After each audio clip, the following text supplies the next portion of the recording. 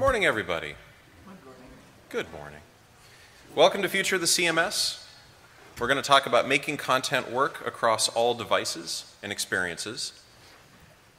My name is Todd Nienkerk. I'm CEO and co-founder of Four Kitchens. This year we celebrated our 11th anniversary of not just being in business, but working in Drupal.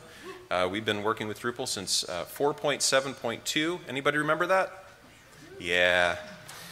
So, uh, if you want to get a hold of me later, that's my email address. It's easy to remember. That's me on Twitter. Um, I don't really use Twitter much anymore. I got kind of sick of social media in the last few months.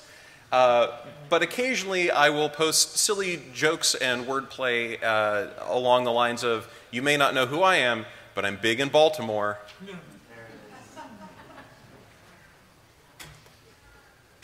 so today I want you to rethink how we manage, publish, and consume content.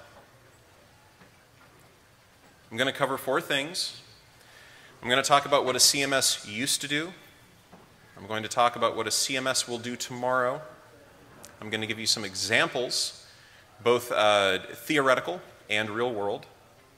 And we're going to talk a bit about what's next for content and content management and content experiences. So to understand the future, we must understand the past. So let's talk very briefly about what CMSs used to do. So way back in the 1990s, we first dealt with flat files, HTML files. There was no CSS. There really wasn't any JavaScript. There was briefly a thing called DHTML. Anybody remember that? Dynamic HTML? Then there was like VRML and all kinds of stuff.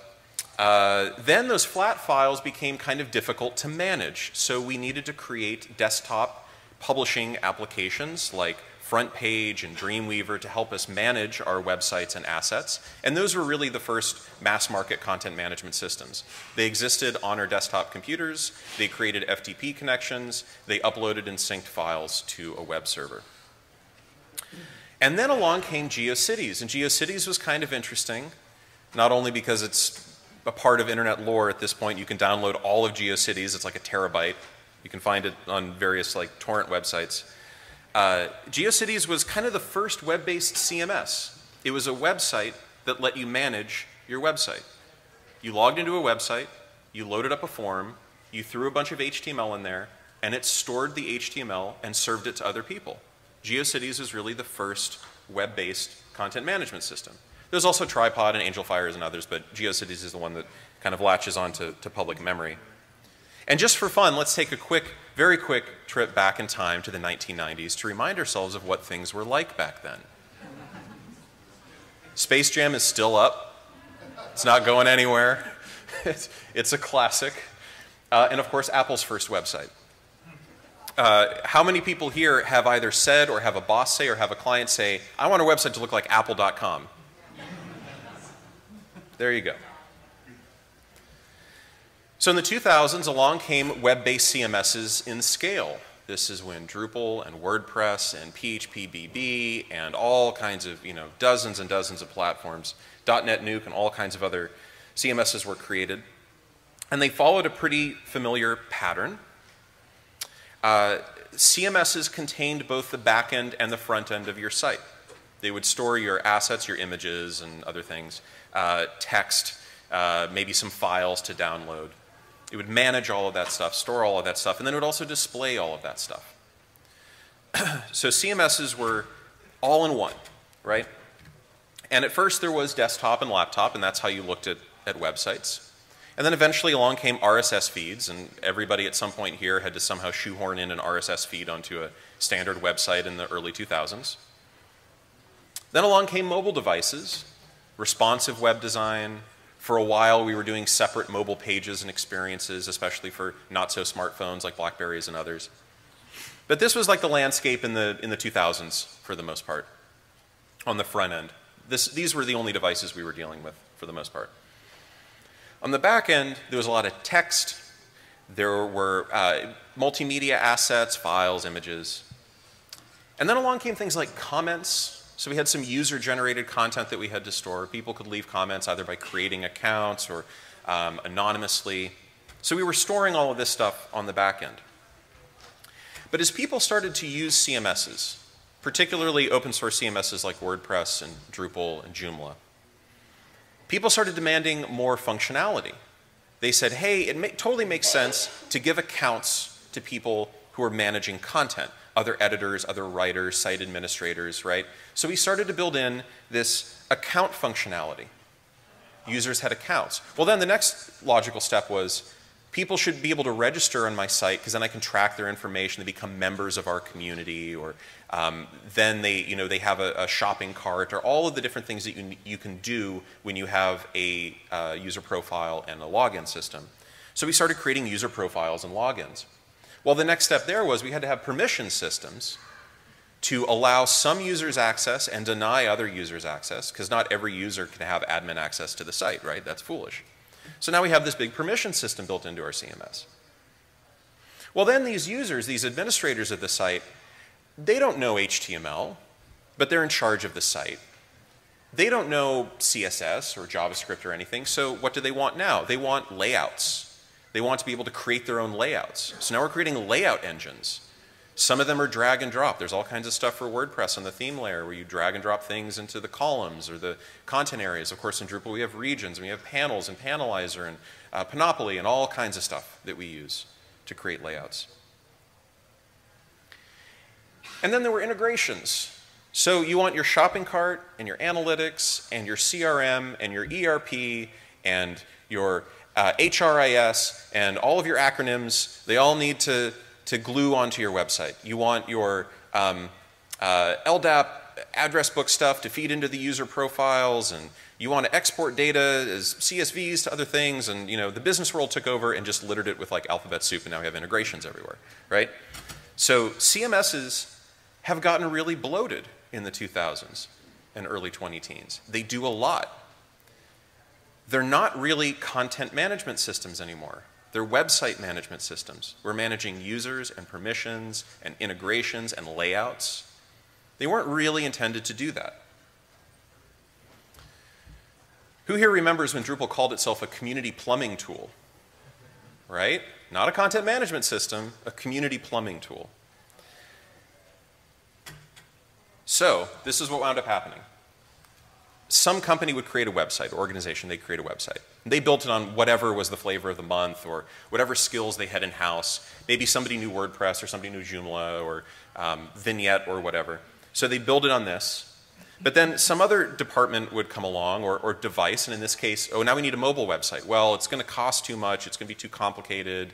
Um, the technology's not really there yet. Let's create a separate mobile site. So now we have these M-dot sites and mobile-dot sites. So we have a separate, a totally separate website for our mobile devices. It exists in a silo. Oh, then, you know, marketing needs microsites. So now you've got these microsites, and they're built on totally different things, and they exist in silos. Well, we need to add a blog. It's too complicated to add it to the main site. Just fire up a WordPress instance, right? That's easy. Now we've got blog.yourwebsite.com or yourwebsite.com slash blog, and that's a separate CMS. Oh, and then the iPhone comes along, and we need to, we're, everybody needs an app. So let's build an app, and we have to feed content to that can't get it out of our main website because it includes some of the blog stuff and some of the mobile stuff and some of the microsite stuff. So let's just create a new website that is just like a content management thing and that feeds into the iPhone app. And this is where we are. How many people are in this situation right now or have been there very recently, right? It's terrible. It's terrible.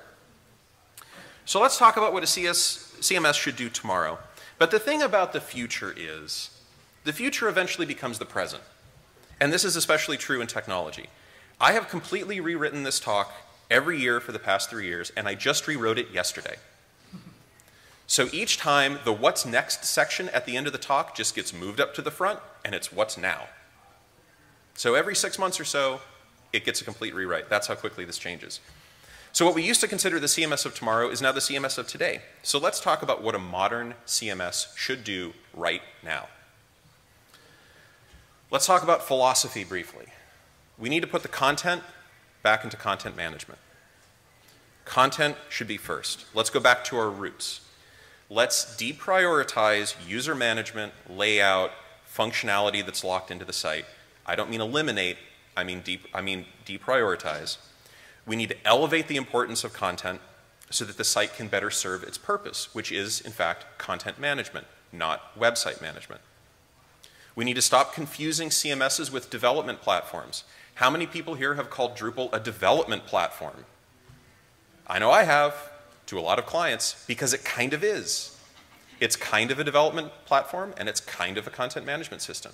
And I think we need to pick one and make that thing really great. So let's think about that while we go over what, what Drupal can do and, and not do. So it's a bit confused in this sense, but that's because we confuse it. Drupal and all the other content management systems out there are just reflections of our needs and demands, right? We want there to be user permissions. We want there to be layout creation tools. So the community builds them, or an enterprise company builds them. So here's an example um, of confusing content management with content display. Think about Drupal views. Think about the module views, now core functionality views. Think about what it does for you. Like when you go into the interface and you create a view, what are you doing?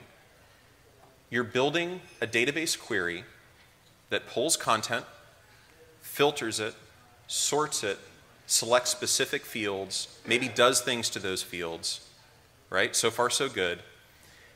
And now we start adding stuff to it divs and spans and markup and all kinds of stuff. And then what do we see when we create a view? We see a list of posts or a list of content. Maybe teasers, maybe full length blog posts, maybe user profiles, whatever it is that we're pulling out of the view, we then see it. But View's real power is in building the query, not in displaying the content.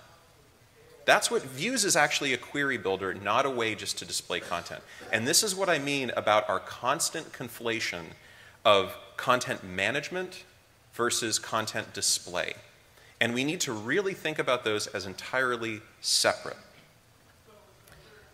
Here's a way to do that. So the modern CMS needs to decouple the front end from the back end in some way.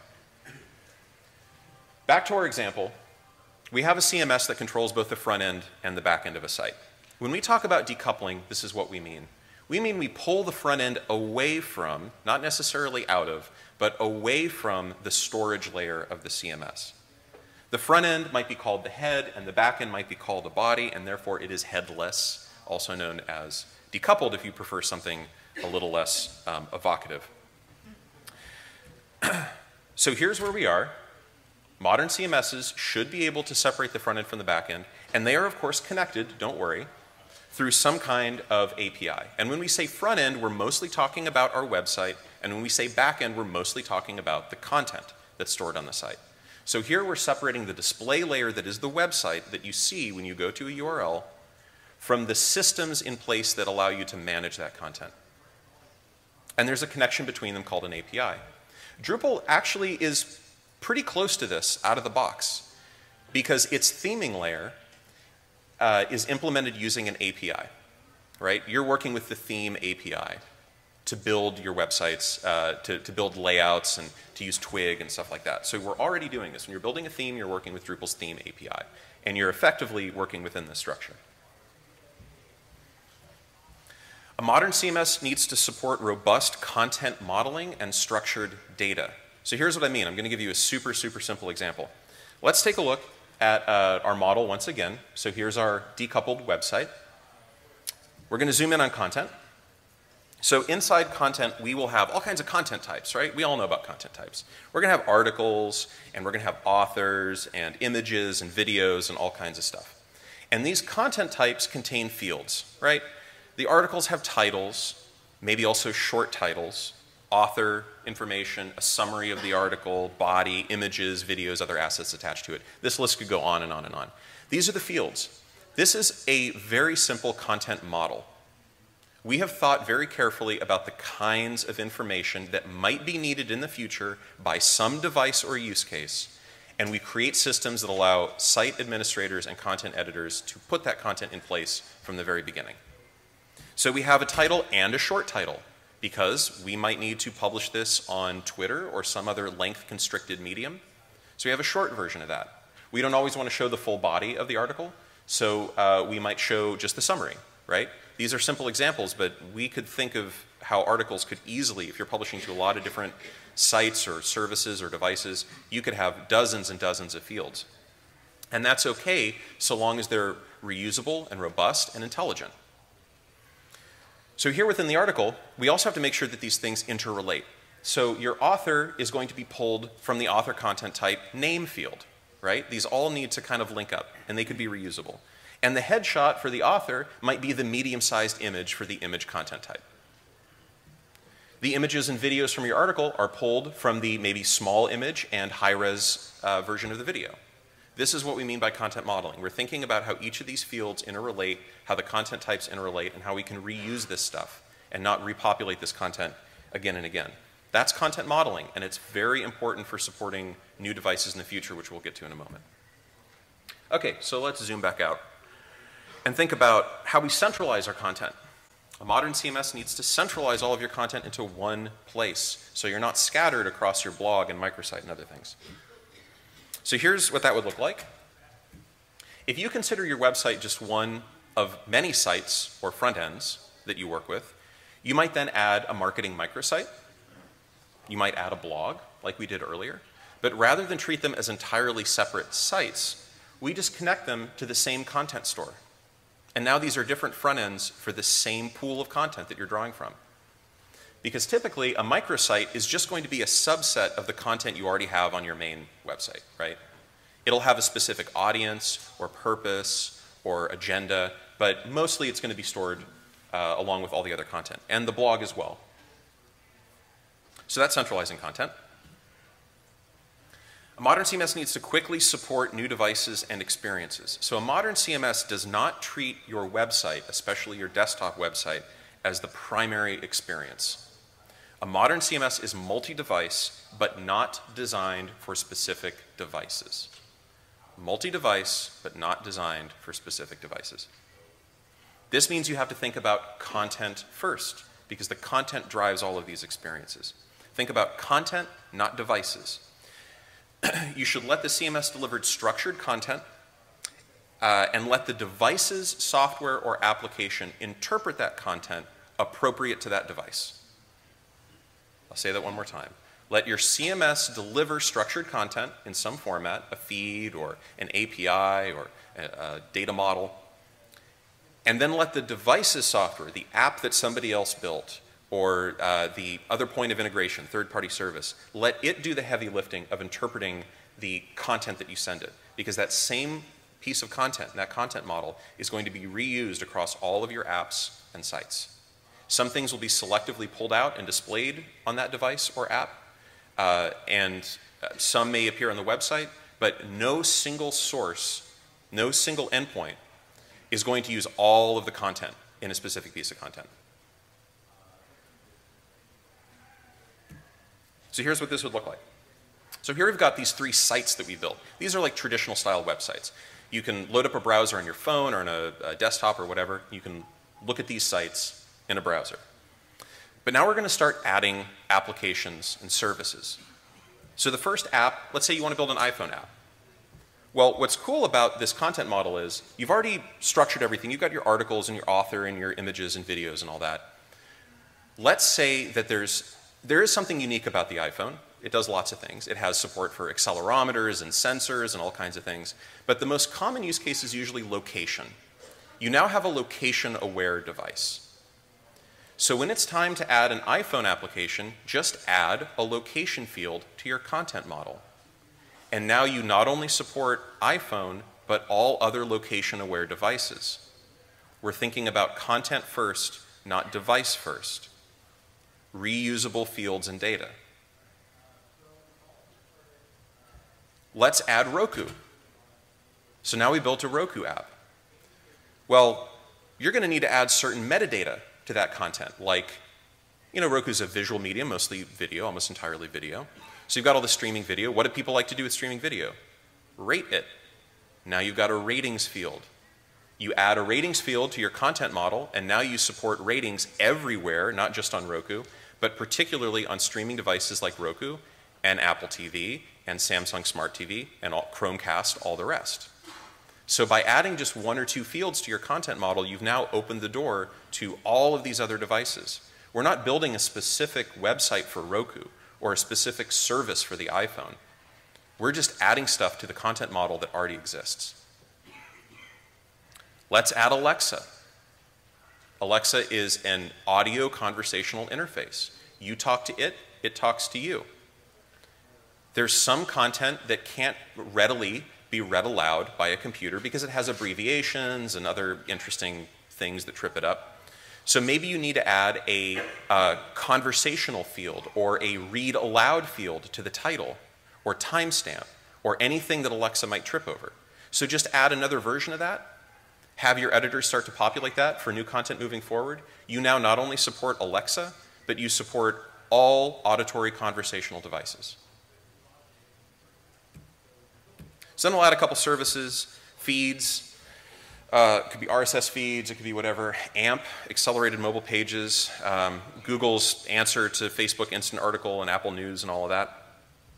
Uh, well, once you have feeds up and running, it's a relatively easy step to support AMP because AMP can just simply be structured data. You can send it a JSON LD uh, feed and you're done. You don't have to create unique AMP pages. And these are so similar to Facebook Instant Articles and Apple News that after adding a couple more fields, you can pretty much support it as well. The idea is making this stuff really robust. Add a couple of fields, and now you not only support the device you're going after, but you support all the other devices in its class. And they're all connected through an API. So this is really fundamentally um, the future of the CMS. All front ends are first-class citizens. Everything starts with content. Content is created for multiple devices and experiences, but not specifically for those devices and experiences. And the website is, um, is just one of many front ends. It's one of many ways that people experience content. Which brings us to the very last thing that a modern CMS should do. It needs to integrate with content-focused analytics. I'm sure everybody here has had the experience of, well, how many page views did we get on our website? Okay, how many times did people um, open up our app? Great. How many downloads of our uh, uh, Roku streaming app did we have? Right? And these are treated as like these separate analytics that you have to look at kind of side by side, and then you start judging which platform is more popular, right? Like, well, not a lot of people download a Roku, but a lot of people go to our website. Should we just get rid of Roku? What you should actually be thinking about is how did a single piece of content perform in total? How popular is this piece of content on the website and on Alexa and in Roku and on AMP? You want to focus on the piece of content and not all of the device downloads and experiences. So you need analytics that are intelligent enough to understand when the same piece of content is being sent across a dozen different devices and experiences, how that content is performing. So all of that can be stored perhaps as metadata within the content management system, but unless your content is centralized, you can't easily do this. If your content is spread across multiple devices and applications and separate sites that you create for that, uh, you're going to have to you know, run spreadsheets all the time and add up all the numbers and it slows all that stuff down. You should have analytics that really focus on content and not experience specific metrics. Those are valuable too, but the content is really at the core of all of this. So to quickly review, the CMS of today should uh, put content management first. It should decouple front end from back end. It should support robust content modeling. It should centralize all of your content into one place so you can easily manage it. Quickly support new devices and experiences by just adding a few new fields every time a new device comes along and integrate with content-focused analytics. All right, let's talk about some examples. So the first couple are theoretical. I see them all the time. Uh, I don't have exact, I don't have firsthand client uh, case studies to share, uh, but they're super common. So let's say you want to share content across multiple sites, the same content, multiple sites. How many people here work in education or like a large corporate environment or a large bureaucratic environment? Right? So we've all dealt with multiple departments and stakeholders, and every department has its own site, every office has its own site. Okay, so here uh, we have an example where there's like my website. I'm, um, uh, I'm the webmaster for uh, the law school at a university. And my colleague Sarah, uh, she works at the medical school, uh, and then we have the English department and the, you know, the dean and student affairs, right? We all have these separate websites, and they all exist in these silos. They're probably not all in the same content management system because there were certain people in place when the site needed to do a redesign and they had skills in a certain area or they hired different vendors or whatever. So it's all kind of all over the place. So if I wanted to share content more effectively across the entire organization, across the entire university, then we would create a central content store in a content management system that is really good at this kind of thing, and I feel that Drupal is. So we think about this in terms of content in my site, and then we start to spin up these different front ends. So Frank has his site, Laura has hers, Bob and Sarah, right? And they're all connected through an API. So this is very similar to multiple devices, but we're just talking about multiple websites because they're all endpoints. They're all different front ends for the content.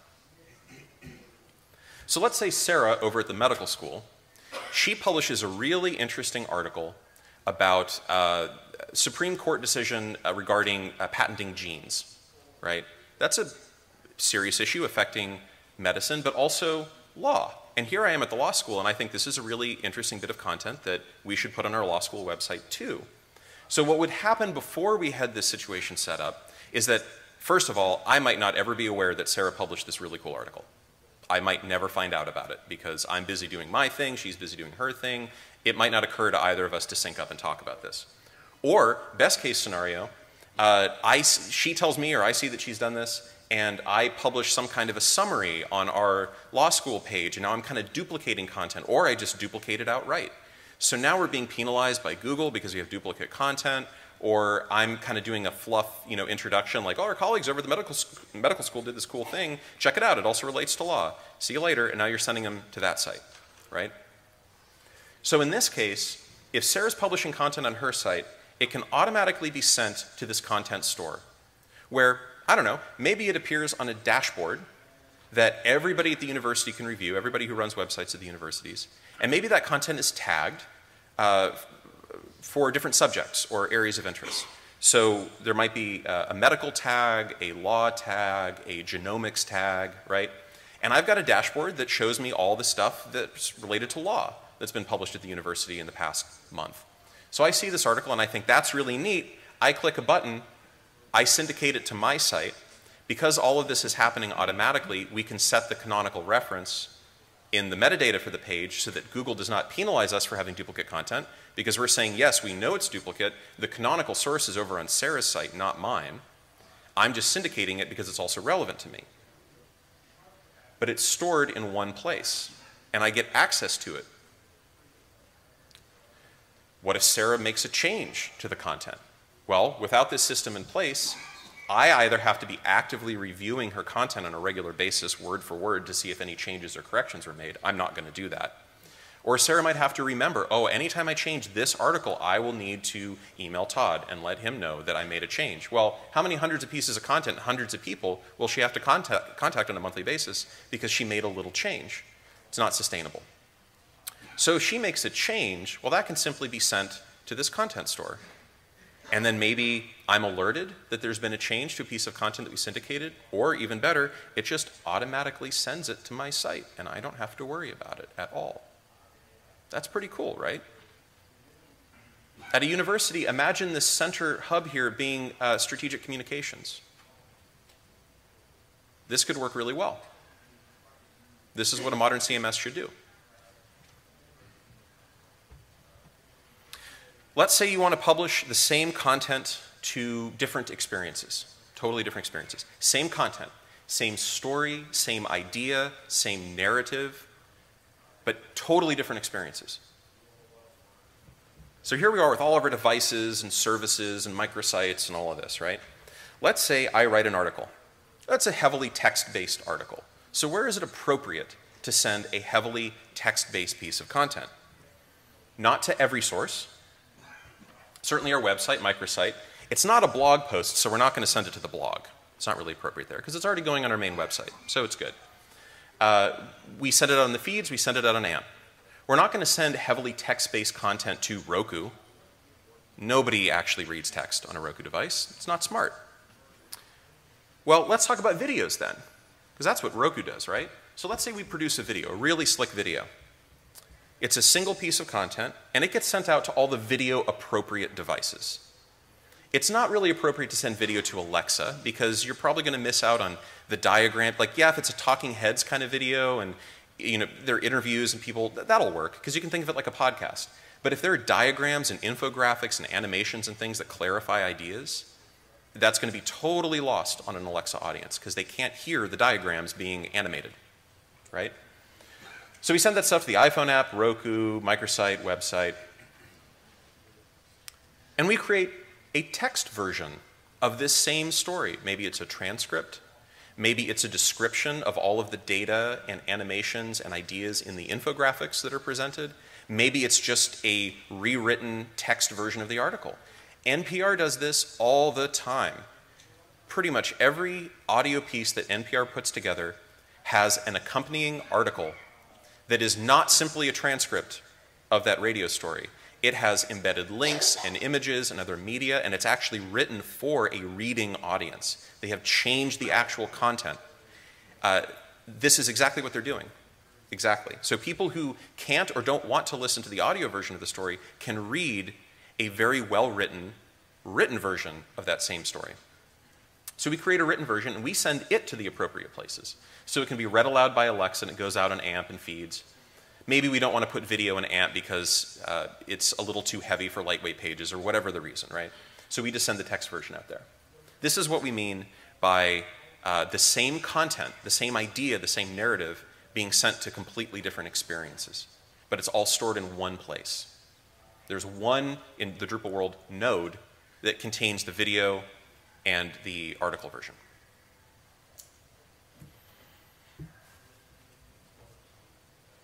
Let's say you want to add new devices while tracking content performance across experiences. So this gets to the analytics side of things.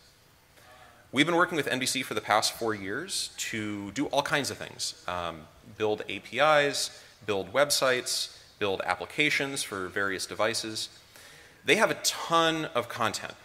There's the Jimmy Fallon viral videos and the two, three, four minute bits that he does with his celebrity guests. Uh, there are episodes of The Blindspot. There are um, entire, the entire 41 year history of Saturday Night Live is accessible through a website and iPhone app and Android app, all using the same API and content management system. So this is a decoupled approach, obviously, because we're supporting all of these devices. And the content API that we help build allows for rapid device deployment. And I'll talk about that in just a moment. This also opened the door for really smart content-focused analytics.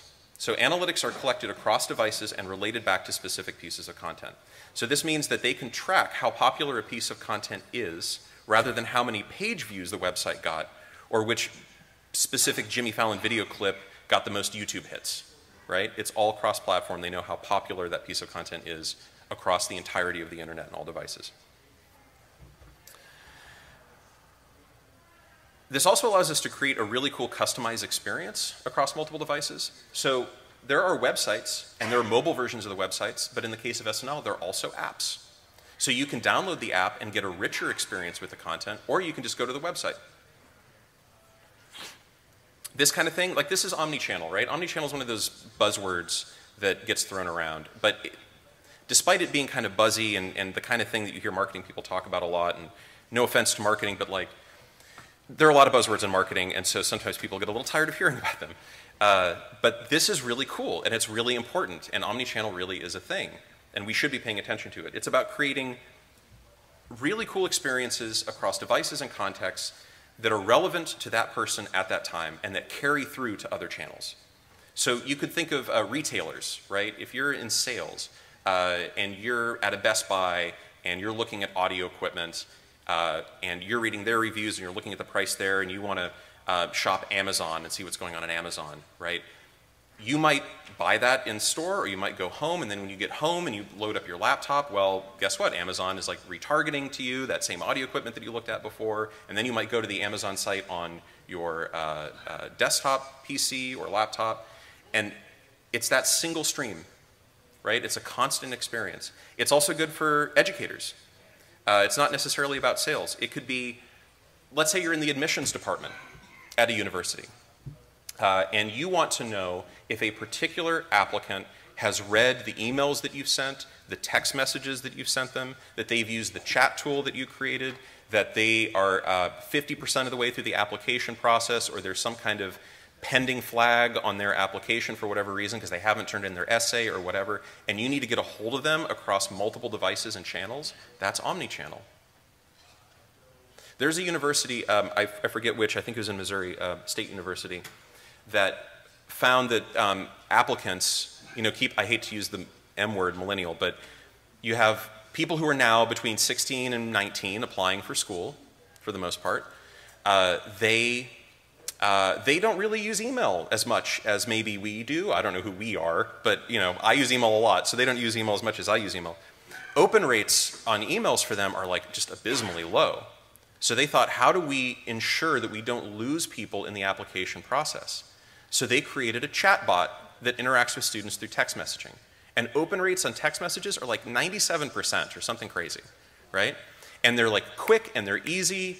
And anytime a student expresses uh, confusion or anger or, or they've hit a roadblock that the chatbot can't help them with on text messaging, they get flagged. They get, uh, by an admissions counselor, they get sent a message like, hey, um, give us a call. Like, right now, just give us a call, we'll sort it out, it's cool. If they don't call, the admissions counselor will look them up and call them because they know that they've hit some kind of roadblock in the admissions process.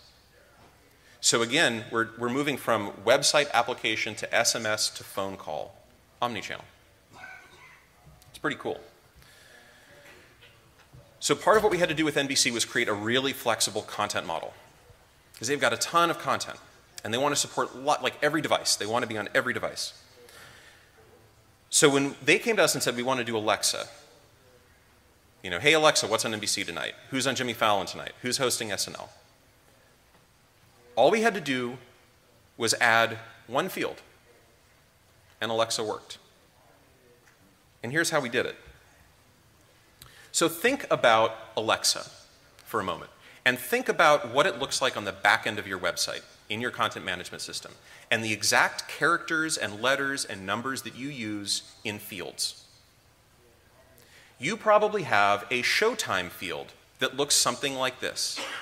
Now, when we see this displayed as text in front of our face, we know that this means 9-8 Central. Or I hope. I don't know. I know it means 9-8 Central. What does Alexa say when Alexa sees this? 9-8C. Hey, Alexa, uh, uh, when is uh, the Blindspot on tonight? The Blindspot is on at 9-8C. That's not super helpful, right? So we create a new field, Showtime Spoken. 9, 8 Central. Hey Alexa, when's the Blindspot on? 9, 8 Central. You add one field and support it. Now you might ask, it sounds trivially easy to just put a parser in the Alexa skill that says anytime you see a C in the Showtime field, read it as central you could totally do that and you wouldn't have to add any fields to Drupal. But what have you done now? You have written specific behaviors for a specific device. And that work that you just did, though trivial, will not carry forward to any other auditory conversational interface that you build ever. OK Google, you didn't do it for OK Google. But if you do it in one place with your content, OK Google will read this as 9.8 Central also. Make sense? This is the whole content first thing. Awesome. All right, what if you need to make your content publicly accessible? Who here works at some organization or in some industry where you are required to do reporting like SEC, government, public data, anything, right? I know there are more of you, right? Yeah, there we go, thank you. So you have to make your data publicly accessible. I'm sure that's a huge pain. What if you could just make it accessible because, oh, guess what you already have? You've already built this. This is already in place. There's already a central content store with this API that wraps around it that makes all of that content accessible in specific contexts. So you just take one of these little spokes and you make it a public API. Publicly document it, give people access to it. If people want to build, and this is going to sound weird, but I'm about to show you an example of this. If they want to build fan sites based on your content, they can do it. They've got your API. If you have to share with government entities or reporting organizations or government transparency groups or whatever, you've got your public data, it's accessible, and it's the same API that's powering all of the other stuff you've already built. It comes along for the ride. Let's talk about fan sites. This exists. This is a thing. So we built TWiT TV a few years back. Uh, this is a decoupled Drupal site using a um, node-based front end that we designed specifically for Drupal called Saucier. Uh, when TWiT first came to us, it was um, a site migration. It was an upgrade in Drupal, um, which means migration. And um, uh, i feel like I'm dumping on Drupal. I love Drupal. It's great. Um, it, that problem's hopefully fixed in Drupal 8 moving forward, the migration upgrade thing. But this was a migration. Uh, and in the process of doing this, they wanted to do a, a brand refresh and, and, a bunch of other things. In the process of doing it, um, we were thinking pretty creatively about like, how do people want to experience their content? How do they share that content? And um, how do they want to expand into other uh, uh, experiences and devices in the future? Because this, their audience is very technical. These are developers. They have videocasts and podcasts about Android development, um, uh, uh, religion and technology, uh, Apple development, all kinds of stuff. Like you name it, they have a podcast or videocast about it. So they have a highly technical audience who would want to do stuff like this. So they decoupled uh, for a handful of reasons. And I want to read those actually. So from the client, this is Leo Laporte. Uh, reason one, it's faster and easier to create new sites when it's decoupled, when the front end is separated from the back end. Web design styles change faster than high fashion, so it's nice to be able to update the site without redoing all the hard work on the back end. You've created one content model with an API, it's handing that content off to whatever front end layer you've created, and now for the front end, all you're dealing with is markup, JavaScript, CSS. People don't need to know about Twig or PHP template or you know any kind of front-end theming thing that you've done. Just regular old front-end skills, meat and potatoes stuff. You can hire anybody to do that, right? It's cheap, it's faster. So they can iterate through designs more quickly now. Having a complete API makes it easier to do apps. The app, just like the website, would have access to everything there is to know about TWiT in a simple and accessible fashion. So anytime they want to add an app, they can do it very quickly. But by making it public, this is the cool part, we encourage members of our audience to create new things, things we might never have thought of. You could even design a website you like better. True. Abstracting the content from the presentation seems like a big win. So this actually happened. Uh, if, you, if anybody here has an Apple TV um, or Roku device, just search for TWiT and you will see a whole host of fan-created applications for TWiT. Sometimes they're competing, like they both do the same thing, and the developers want to see which one will do better. Uh, mostly, though, it's an opportunity for their fan base, who again is highly technical, to just noodle around on a new technology and then publicly release it to the world. So they basically had a whole, they've had their fans build all their stuff for them for free. That's pretty cool. And finally, by keeping Drupal simple and avoiding additional third-party modules, we can make a more secure and reliable backend that will be much easier to upgrade when future versions of Drupal arrive. So what makes these organizations in particular successful? Internet on a fridge. Internet on a fridge. Remember that? Oh, wow, I'm going to have internet on my fridge. Yay! Internet on my fridge. That's what I need.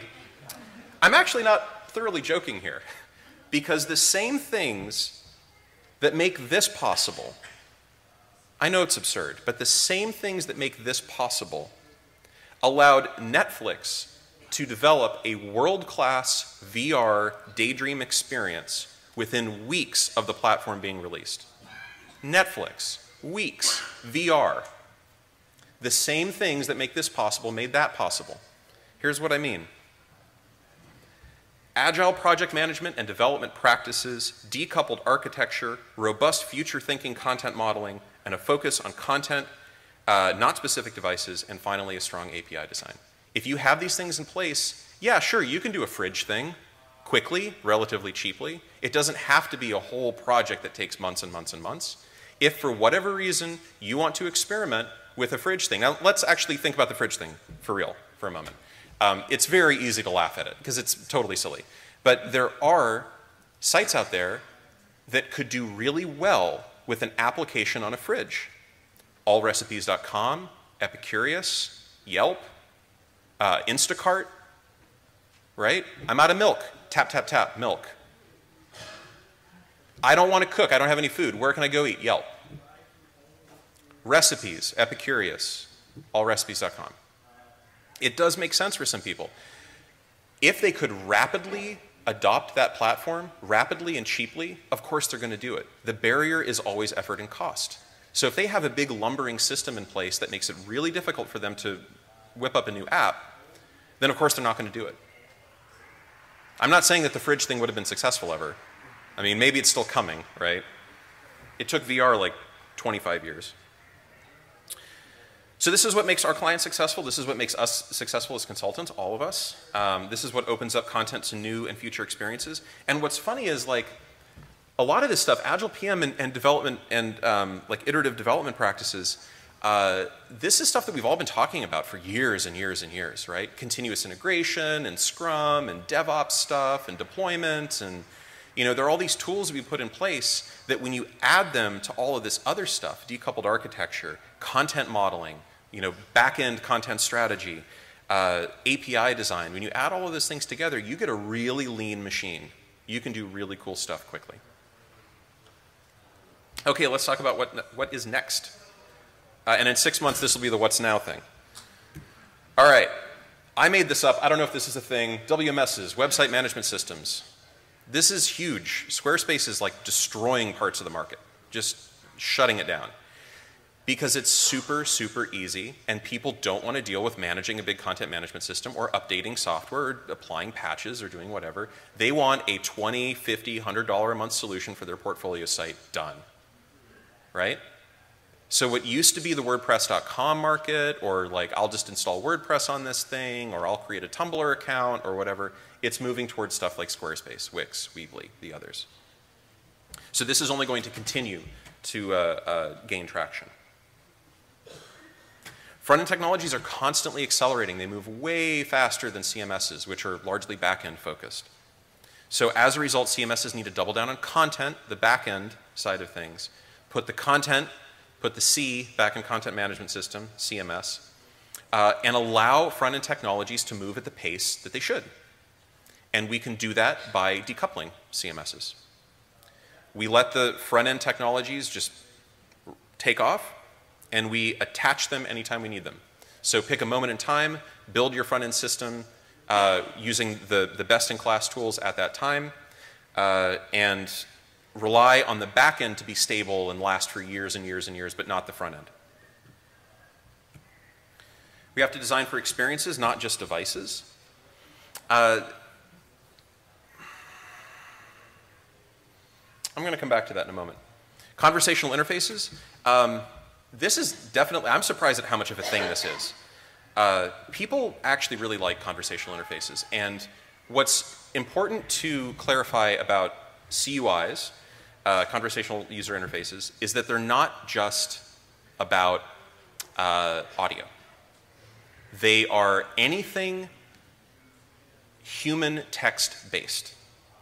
SMS, search boxes, uh, things that you just kind of wonder aloud, things that you interact, uh, think, questions you ask Google and uh, Alexa and Siri and, and all the rest.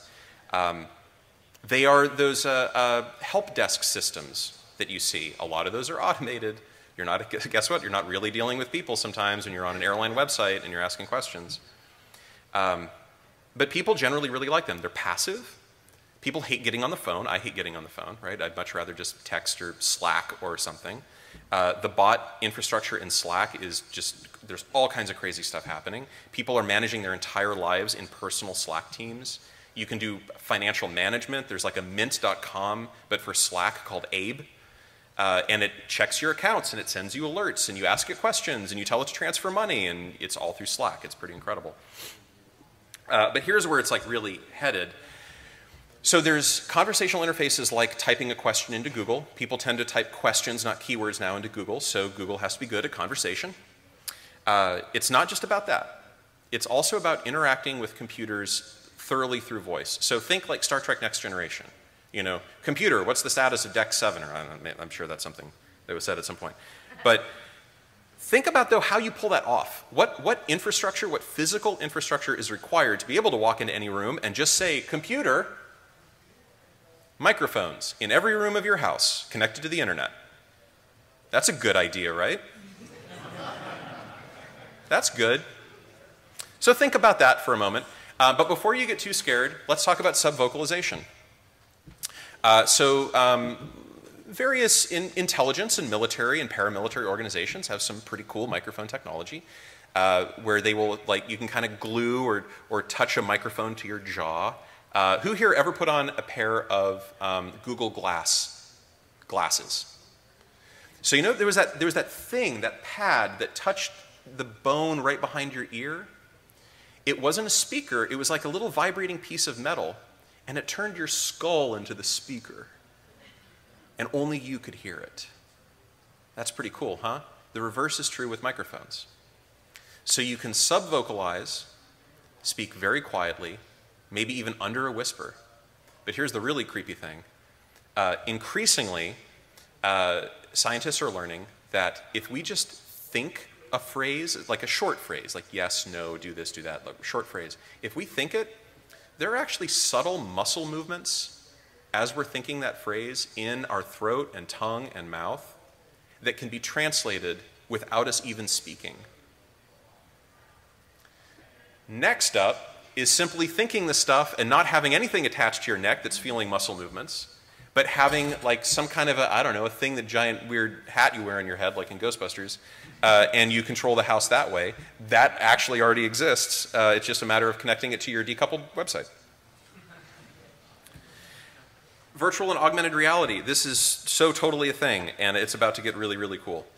Um, so virtual, just quick definition. Virtual reality is a fully immersive experience where you are uh, shut out from the real world and you're in this new world, right? It, you shift to a totally new thing.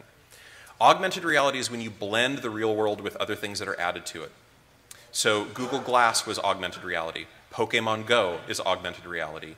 Instagram and Snapchat and all the filters that you use with that, that's augmented reality. You're taking the real world and you're flavoring it or coloring it or putting a filter on it or adding a heads-up display to it. Uh, so Microsoft is working on some cool augmented reality stuff. There are a couple of solutions out there right now. Theirs is called the HoloLens. Um, virtual reality stuff is really neat, and it's interesting to think about how Drupal fits into it. So uh, I'm, I'm going to plug real quick. Come by our booth, we're the games area. Uh, we'll show you um, not how Drupal connects to it, but a very simple story told in VR using uh, photospheres, which are 360 degree photos, and hotspots where you can interact with them and, and do things and bring up information and move from one room to another. And it's all in the browser.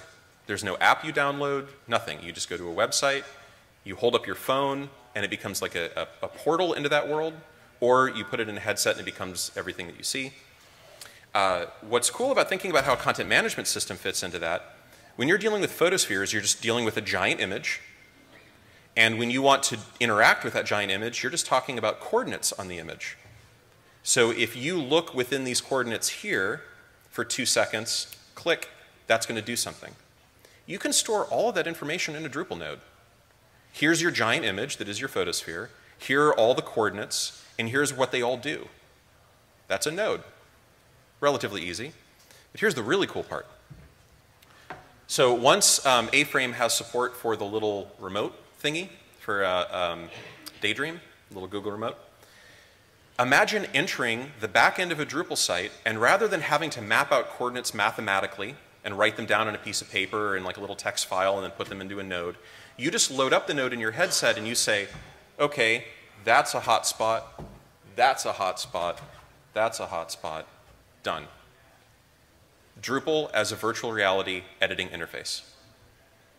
Totally doable. Maybe we'll have it done in a couple months. We'll see. Uh, augmented reality um, is going to be really good for things like shopping. Here's a scene from Fight Club that, if you've seen it, you probably remember. He's walking through his apartment, and all of the stuff that he's bought from this fake IKEA um, appears, all the metadata and all of that. This is totally doable now. This, like HoloLens could do this. Um, your iPhone and, and, Android device through the, the pass-through camera can do all this easily. Um, this might be the future of how we shop for things.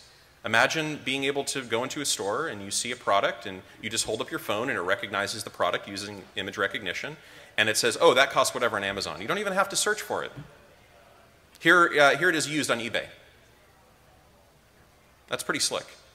Uh, so we have to think about how we manage that content and what that experience is like and how we deliver it to specific devices. And finally, I want to talk about context-aware content. Uh, this is kind of like, who here knows about progressive enhancement? Right? Progressive enhancement is the idea that as you graduate to more capable devices, the experience becomes richer. So uh, often this was used to describe the mobile web to desktop web transition, where on a, uh, say a, a, older smartphone, a not smartphone, a feature phone, like BlackBerry or, or whatever, um, you would have a really uh, stripped down version of your site, just text and a couple of images, and it can handle low bandwidth connections and all of that. So a really simple version. But then if you load it up on an iPhone or an Android, there's a richer experience. If you open it up uh, and it has a certain, you know, content is usually in one big column that you scroll through. And then if you open it up on a desktop application on a big screen, you have an even, you have a different experience there, but it's all the same code. It's the same markup, the same JavaScript, the same CSS, same URL. It's the same code, that does all of those things. And the experience progressively enhances as the capabilities of the device expand. What's cool about VR is that it almost kind of goes the opposite way.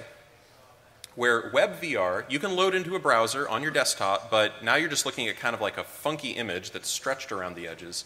And uh, you have to like click and, and drag and kind of like fling the image around to, to see what's happening in this photosphere. Or you load it up on your phone and you look at it and it becomes a little window into this virtual world. You can kind of do this thing or you can scroll through it. Or you pop it in a headset and now suddenly you're in it, right? And it's all around you and you're looking everywhere. In that case, as the device gets smaller and smaller and smaller, the experience gets richer and richer and richer. So it's not necessarily about the size of the device or the size of the display. It's about the context of the content that's being used. So in this case, Context-aware content in VR uh, would mean that we're not going to display a website in VR ever. That doesn't make sense. Who wants to read a whole bunch of text in VR, scroll through an article in VR? That's not what VR is made for. I mean, how many people, like, I can do VR for maybe 10, 15 minutes before I start to feel a little weird. I'm not going to be reading long form Atlantic monthly articles in VR anytime soon, but I am going to do 360 degree photography and video and all the other cool stuff that they're producing. So the content needs to be aware of where you are and what you're doing and what devices you're on and send you the appropriate information and experience for that device. Uh, we have 40 seconds for questions. Any quick questions or thoughts? Come on up and we'll talk. Thank you, everybody. I appreciate it.